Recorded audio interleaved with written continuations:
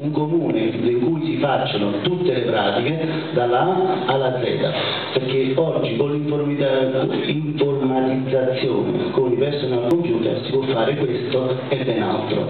Come è capitato a qualche persona anziana che andando a ritirare la pensione era scaduta la carta di identità, questa persona non ha potuto ritirare la pensione perché, essendo anziano, non si poteva recare prima alla stazione centrale, venire poi a Casoria, da Casoria rifare tutto il circolo. Quindi noi questi servizi li vogliamo seriamente decentralizzare, ma non decentralizzare, centralizzarli nella sede comunale, con impiegati, con un prosindaco o come lo volete chiamare, una persona incaricata dal sindaco con delega a tutto e quindi sarete autonomi, cioè saremo autonomi senza più venire a Casoria. Allora, grazie. Massimo, qual è la tua prospettiva?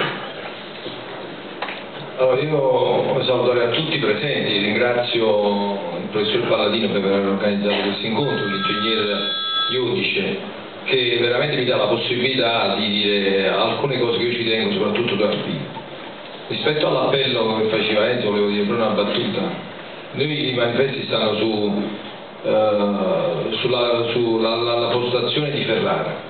Capisco che in, questi, in queste ore hai, la, hai incassato l'appoggio di Ferrara, e quindi mi me ne riguarderò a toglierli da, da Ferrara e quindi no, no, e alla fine voglio sottolineare anche questo, capito? che tu in queste ore hai incassato anche l'appoggio e il sostegno di Stefano Ferrara.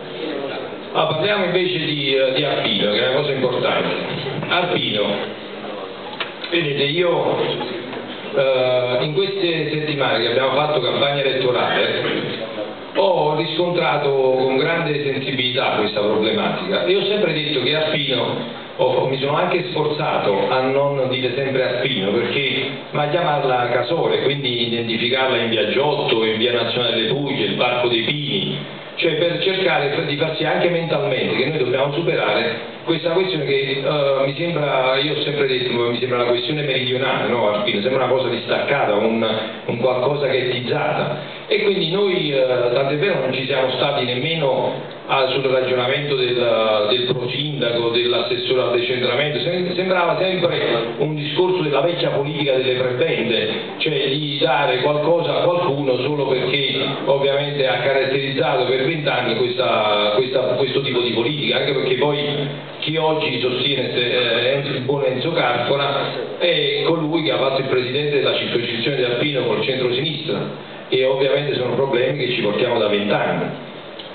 I problemi di Alpino sono, sono semplici eh, da individuare, i problemi sono difficili da, da, realizzare, ma noi abbiamo le idee per realizzarli, perché noi abbiamo detto dall'inizio della campagna elettorale per unire queste due realtà, eh, Casoria Centro e quest'area, ovviamente la prima cosa dobbiamo insistere sul, e dobbiamo portare a termine il progetto di trasporto interno, perché solo in questo modo possiamo far sì che la gente, eh, non, non, ci svegliamo oggi che eh, la gente per arrivare arrivare a Casoria eh, col pullman deve arrivare a Napoli, prendere ovviamente un altro pullman e poi arrivare a Casoria e questo è assurdo, è una cosa che dura da vent'anni.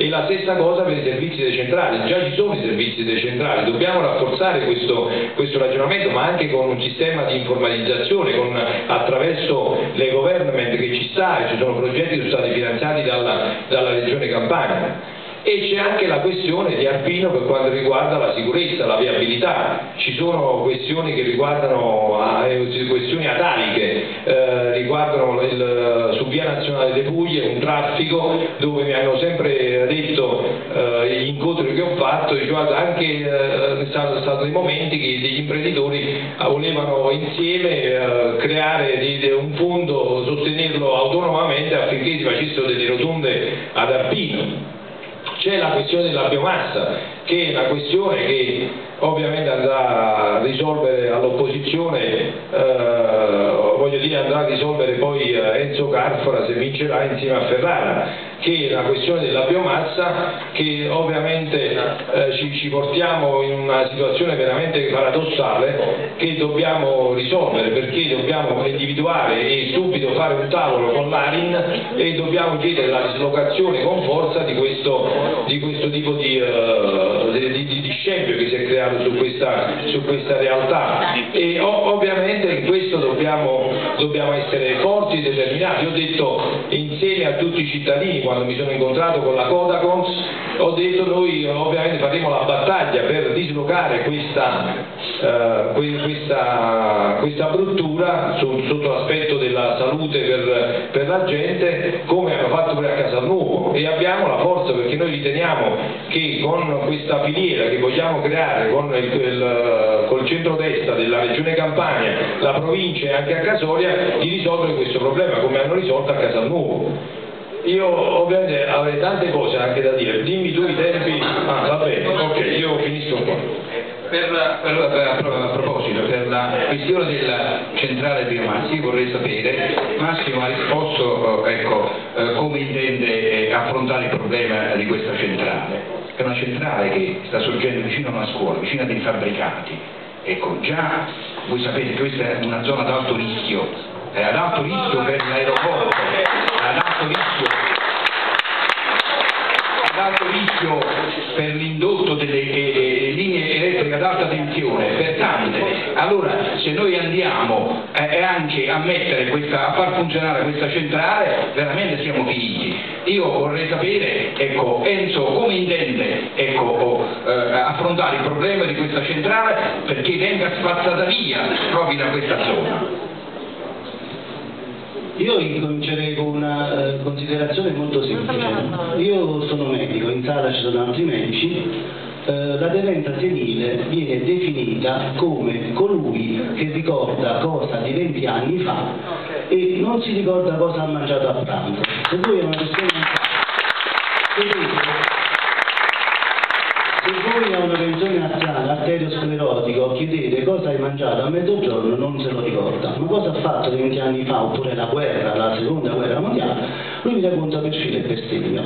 Ora, imputare a me la centrale a biomasse che è stata firmata dal suo ex sindaco, cioè non ci dimentichiamo, caro Massimo, tu sei stato, tu sei stato assessore, assessore al bilancio per tre anni del sindaco Ferrari tre anni, in questi tre anni sono cambiati diversi assessori, tu sei stato sempre al tuo posto, ora spiegaci tu perché stai contro Ferrara, non devi spiegare io perché Ferrara votare per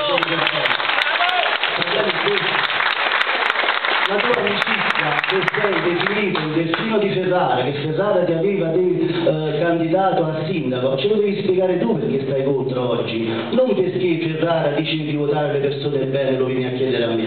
Quindi a me non è né un'offesa né nessuna cosa.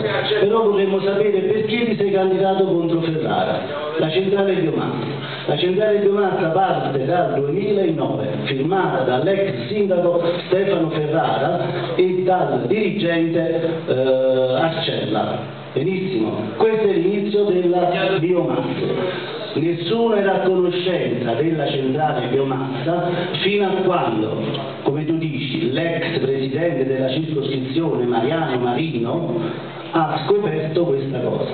Venuta a galla questa situazione, se volete vi racconto tutta la storia, tutta la documentazione. Allora, dopo sintetico, se chiede allora eh, 2009 si firma questa autorizzazione va bene? nel 2009 che cosa è stato fatto? scusa?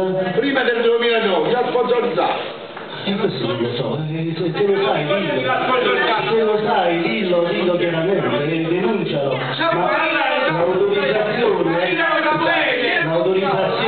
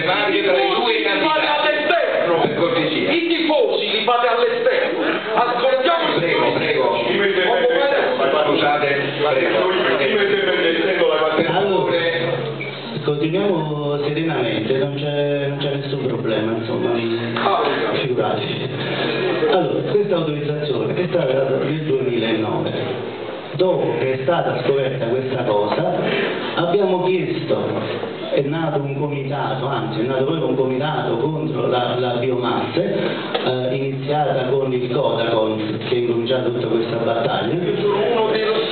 Sono state, sono state chieste diverse Per cortesia, noi dobbiamo ascoltare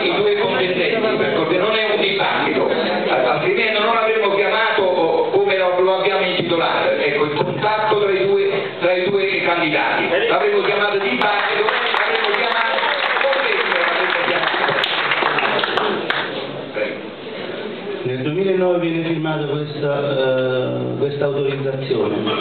Poi dopo abbiamo chiesto il comitato, del, comitato delle biomasse eccetera eccetera di rivedere queste cose. È stato interpellato Stefano Ferrara che è stato anche chiamato dalla regione per andare a parlare, ma lui non si è degnato nemmeno di andare in regione perché il dirigente era non so cosa era. Enzo, scusami se ti interrompo. Allora, io ti ho fatto una domanda specifica. Come intendo affrontare questo problema e risolvere questo problema? La storia, la se di tutti. Mi si accusa delle biomasse, scusa, io devo, devo specificare che eh, io sono contrario alle biomasse, metterò in campo tutto quello che c'è da mettere per le biomasse, sia legalmente, anche perché due volte che è stata bloccata le biomasse, lo diciamo chiaramente a tutti quanti, non è stata bloccata perché è pericolosa, è stata bloccata perché il sindaco Ferrara ha detto che c'era una sommossa popolare e che il Codacons e il, il comitato delle biomasse erano dei delinquenti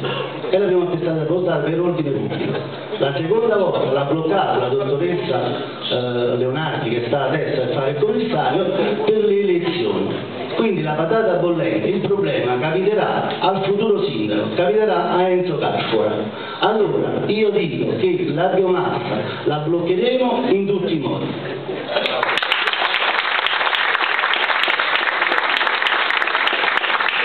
Grazie, allora un'altra domanda che vorrei fare ai due contendenti è il problema dell'istruzione. Io non ho sentito. Il problema già risposto no, Massimo sulla Non ho sentito che cosa aveva detto. Guardate, io dico una cosa, noi, io e Enzo Carcola abbiamo condotto una campagna elettorale di grande moderazione. Allora stasera ovviamente ci sono un sacco di tifosi e noi stiamo facendo la, la nostra partita. Adesso io quello che voglio dire è quello che ho sempre detto. Eh, a Enzo, non ti devi percorrere. Io ho detto solo una cosa che è sotto ovviamente di queste ore, non ho detto niente di, di straordinario. Ho detto hai incassato l'appoggio di Stefano Ferrara. Va, non ho detto niente di più. Non ti devi percorrere su questa cosa. No, ma che non deve essere nemmeno così, ti prego, per- mi perdoni un attimo. Non un attimo solo. Della politica. Le dico tutto, aspetta un secondo. Allora, quindi alla fine non ti devi percorrere su questa cosa. Ti chiedo, te lo chiedo con grande eh, correttezza, lo sai la stima che ho e, e, diciamo di te, però ho, ho voluto dire una notizia. Eh, allora non è fatto di semenza di Dio, io ho 40 anni, non ne ho, non ne ho 70. Quello che ti voglio, però, però la gente deve, deve sapere che ovviamente le strutture, ma io non ho detto, scusami, Enzo, scusami, io non ho detto, assolutamente, non ho detto, eh, io facevo l'assessore tecnico, non- qualche volta l'ho negato che facevo l'assessore tecnico. Allora, la questione della biomassa, io ho detto due cose, l'ho detto dal primo giorno, va bene, che mi sono incontrato anche col Codacons, ho detto, però io l'ho detto anche prima, forse voi non avete ascoltato. Ascolti, eh, signora,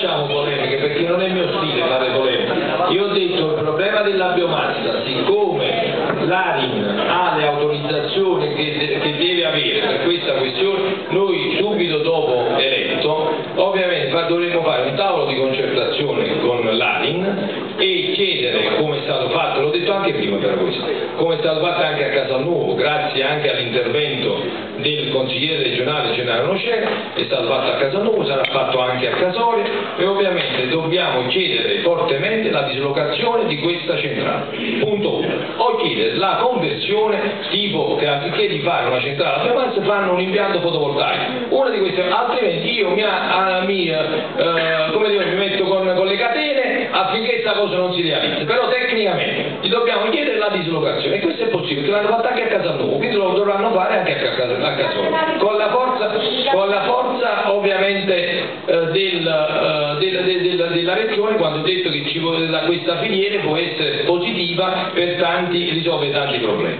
Ritorno a, quindi voglio ritornare nei- negli argomenti, io sono venuto qua per, per dire quello che, che voglio fare, ovviamente dalle brutture che ho visto eh, in questo, però uno non si deve sentire, scusate, ma se per vent'anni ha governato il centro che è colpa mia mo stasera? Cioè, eh, io, io- noi comunque sono brutture che durano da, da- da- una vita. Se eh, Mariano Marina ha fatto presidente della circoscrizione di Alpino del centro-sinistra e le cose sono rimaste uguali, mica è colpa mia, scusami, ma è nemmeno colpa tua, eh? Attenzione, io ti voglio dare altro, non è colpa né mia né tua. Però sono, eh, la, storia, la storia comunque questa è, la politica questa è stata. Cioè io, ove io te- lo sai, io eh, con te ho un rapporto bellissimo, noi rappresenti, tu ra- rappresenti un modello, ho detto, poi chiudo con la politica, andiamo solo sulla parte del rappresenti un modello di politica che già si è espressa a Casoria, cioè eh, è, è un dato, non è una, una, una cosa. Ma lascia stare che tu sei, tu sei una persona per bene, come lo sono io, siamo due, due persone che cerchiamo di lavorare ovviamente per il bene della città, questo non lo, non lo metto in dubbio, non l'ho mai messo in dubbio, però è un dato, è un fatto. Ritornando ai problemi di Alpino, posso? Continuo. Allora, io ho noi dobbiamo il problema della biomassa è quello ve l'ho esposto. Il problema, noi dobbiamo risolvere il problema del. Io guardate in campagna elettorale, noi dobbiamo cercare di portare questa città alla normalità. Non è possibile che si cammina ne- nelle strade che sono una groviera, zone dove non ci sta la pubblica illuminazione, dove ovviamente ci sta una villa comunale sia a Casoria che ad Alpino, diciamo in quest'area, che possono stare anche chiuse. Noi dobbiamo partire dalle- dalla normalità accostando la normalità e le esigenze di questo territorio, e vi ripeto, abbiamo dato di trasporto interno, questo è un servizio che dobbiamo fare subito, anche grazie alla provincia, Enzo lo sa, cioè che il consigliere provinciale si può fare sicuramente un progetto interno per creare ovviamente questa, eh, questo trasporto tra questa- queste due aree, perché altrimenti come li colleghiamo fortemente queste due aree? E quindi il trasporto interno è un punto focale di questo tipo di ragionamento, come anche dobbiamo insieme alla normalità mettere in campo un progetto a medio e lungo termine. Progetto a medio e lungo termine, io l'ho detto dal primo giorno, sono quello delle aree di smisi, anche qua ce n'è una su questo territorio. Dobbiamo fare in modo, dobbiamo attrarre ovviamente investitori eh, dall'esterno, dobbiamo fare in modo che si creano, eh, non si fa più i palazzi a Casoria e questa nemmeno è colpa mia e forse nemmeno colpa di Enzo, anzi no forse non è colpa di Enzo, però per vent'anni in questa città ci sono fatte sempre palazzi e speculazione edilizia, questo è un dato che non, non- non- sotto gli, apro gli occhi, lo vedo. Dobbiamo cercare di attrarre investitori e creare piccole e medie imprese, altrimenti occupazione, quando si parla di lavoro, ma come si realizza?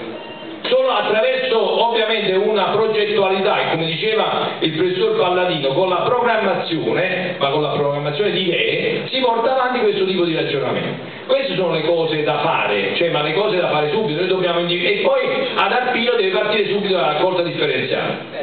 Questo subito deve partire, perché non è possibile questa città è una discarica a cielo aperto cioè quest'area, proprio è una discarica a cielo aperto, quindi deve partire subito la raccolta differenziata. Questa è una cosa che dobbiamo fare e si può fare immediatamente. Ti volevo passare a un altro argomento, è interessante quello che ci dice eh, Massimo, eh, ma stavo trattando un problema delicato che è quello dell'istruzione, perché si parte, secondo il mio modesto avviso, dall'istruzione, dall'istruzione per eh, ovviamente per migliorare tutto il tessuto sociale.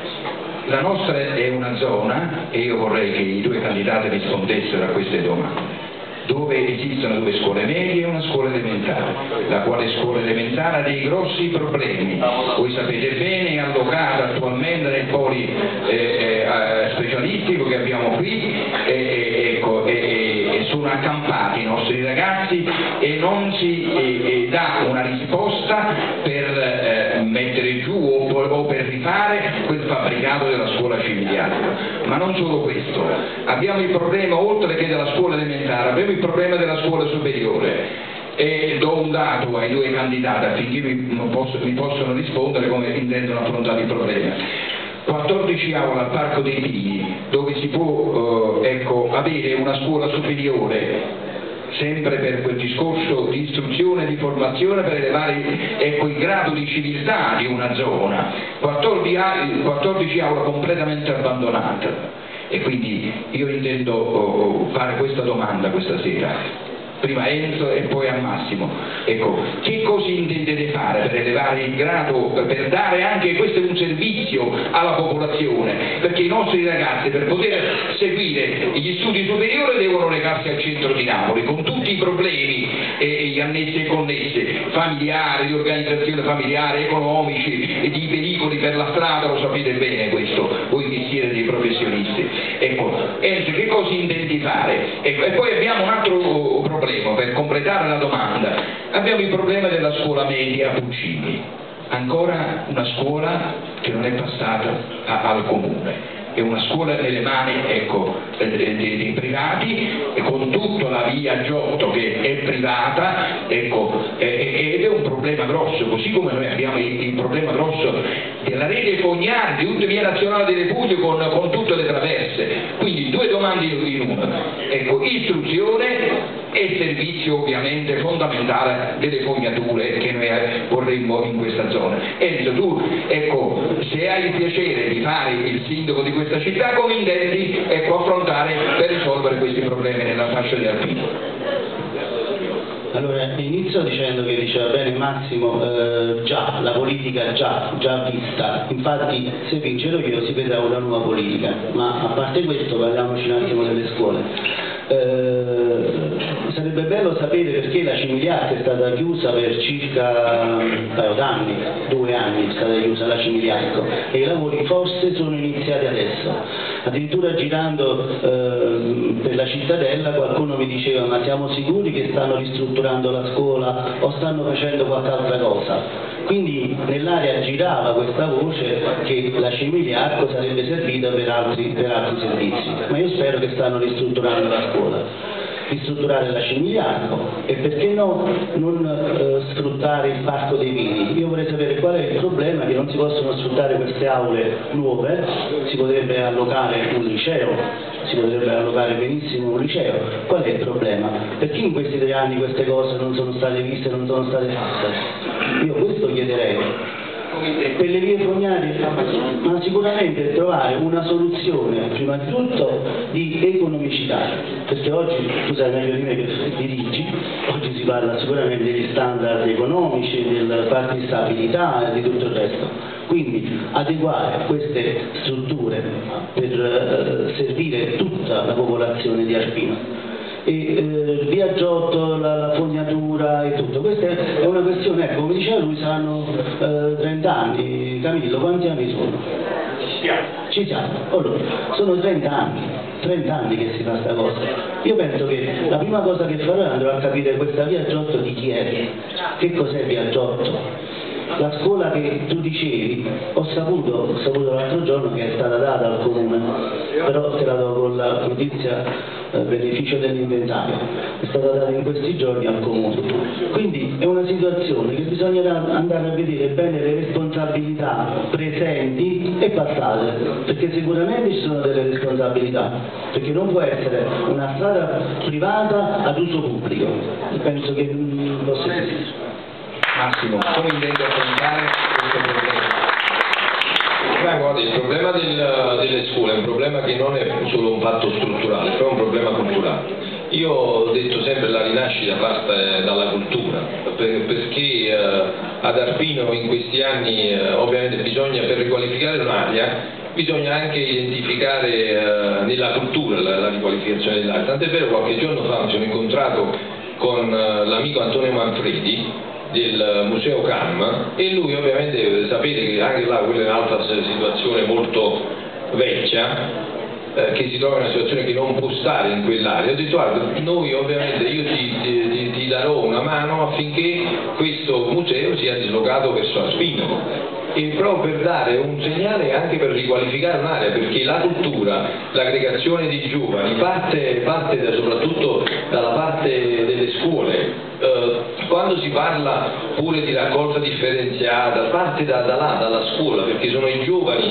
le generazioni future che hanno lo, lo stimolo ovviamente di, di, fare le cose, come uno va a casa e dice mamma guarda dobbiamo fare la raccolta differenziata, guarda mamma cioè, dobbiamo, fare, uh, dobbiamo fare economia uh, per, per uh, come devo dire, la pubblica illuminazione, dobbiamo fare una... è tutto dall'altra parte della scuola, tant'è vero io ho letto sui giornali che il sindaco di Firenze ogni martedì va, va, nelle scuole a fare il giro per, con i bambini. E questa è una cosa che io mi sono promesso di fare, ma non a vedere se al di là che questo sarà punto eh, nevralgico che dovrà occuparsi l'assessore all'edilizia scolastica, perché in questi anni non c'è mai stato un vero assessore alla pubblica istruzione, anche questo dobbiamo dire, si parlava solo di edilizia scolastica e ci dovrà essere un assessore della pubblica istruzione che veramente ha la capacità di creare cultura su questo territorio, un territorio che tu sai bene che è, è fatto eh, di grandi personalità, un territorio che vanta beati, santi e quindi se non partiamo dalla cultura questa città non rinasce mai. Quindi questo per me tocchi delle corde importanti perché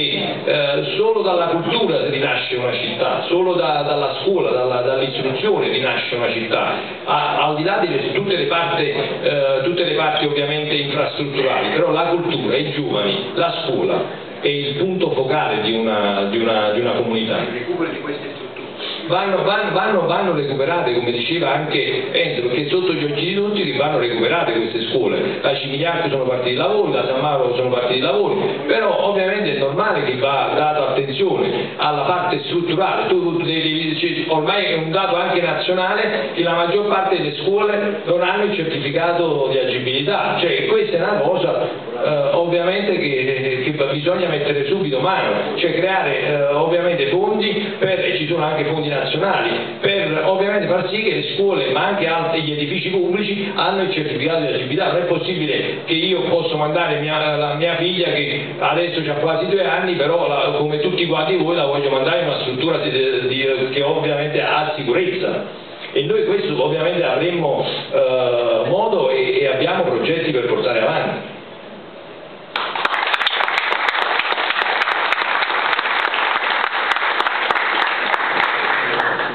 Problema sanitario. La nostra zona ha un eh, poliambulatorio, io vedevo il dottore Marina da qualche parte, sì, ha un poliambulatorio.